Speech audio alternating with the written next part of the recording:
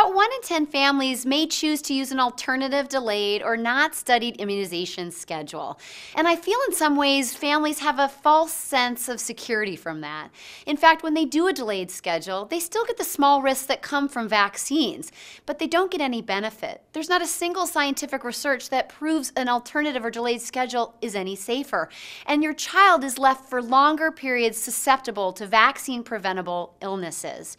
We have a great opportunity to follow the schedule that's established to get our kids up to date and protected from infections right away. If you've got concerns or want to delay vaccines, talk directly with your pediatrician about why and what risks you have.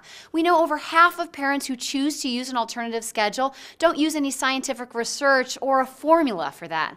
We want you to have great choices and access to great science when protecting your children with immunizations.